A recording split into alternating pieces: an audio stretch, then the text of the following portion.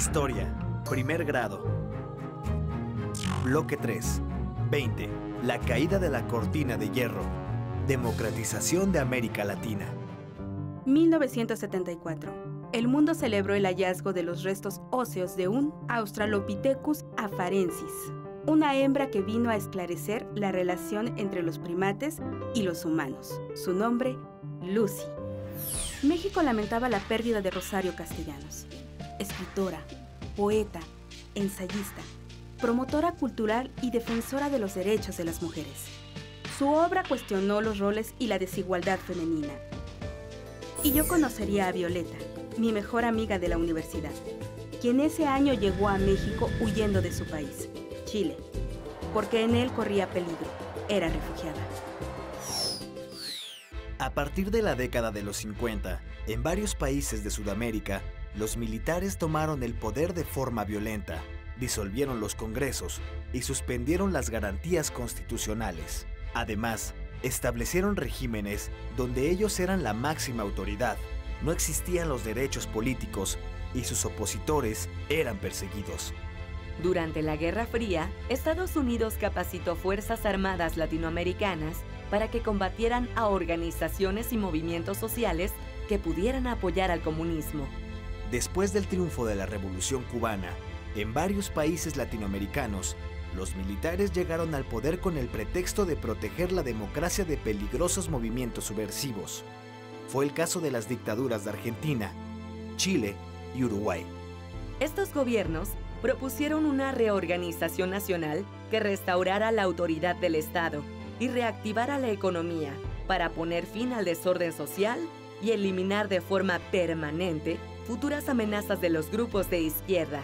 En 1975, las dictaduras de Argentina, Bolivia, Brasil, Chile, Paraguay y Uruguay establecieron un sistema de coordinación represiva contra sus opositores políticos, que incluyeron asesinatos y desapariciones forzadas. El Plan Cóndor, con participación de Estados Unidos. Pero estos gobiernos no duraron para siempre. Al inicio de la década de los 80, el gobierno militar argentino enfrentó una crisis importante que acrecentó la oposición a su régimen. Para recuperar el apoyo popular, en 1982 inició una guerra contra Gran Bretaña, con el argumento de defender la soberanía argentina de las Islas Malvinas.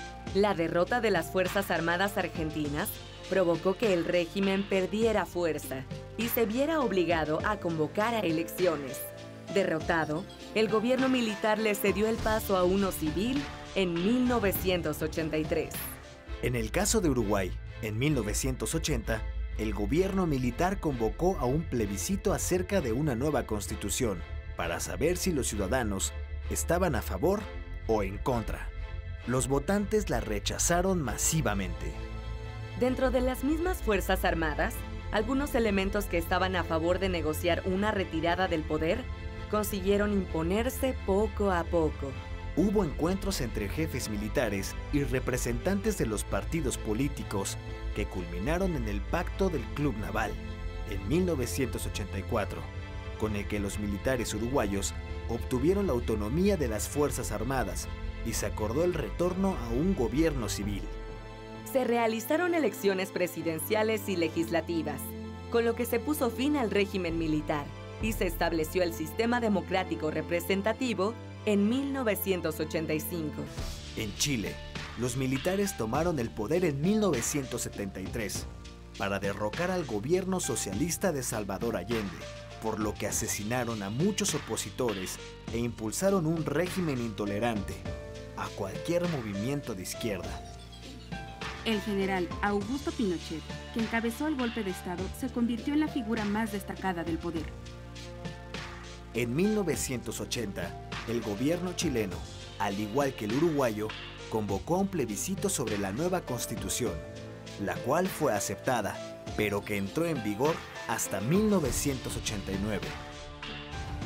Entre 1981 a 1989, la Junta Militar de Gobierno nombró al general Pinochet presidente, dando continuidad a la dictadura.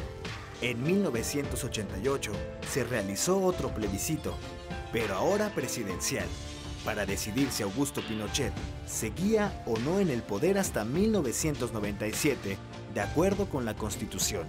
La población votó por el no y el gobierno tuvo que reconocer su derrota. Un año después se convocó a elecciones de presidente y parlamentarios, con lo que dio inicio al proceso de transición democrática chilena. Así, entre 1980 y 1990, el gobierno civil fue restaurado en varias naciones latinoamericanas. A este proceso se le conoce como transición democrática.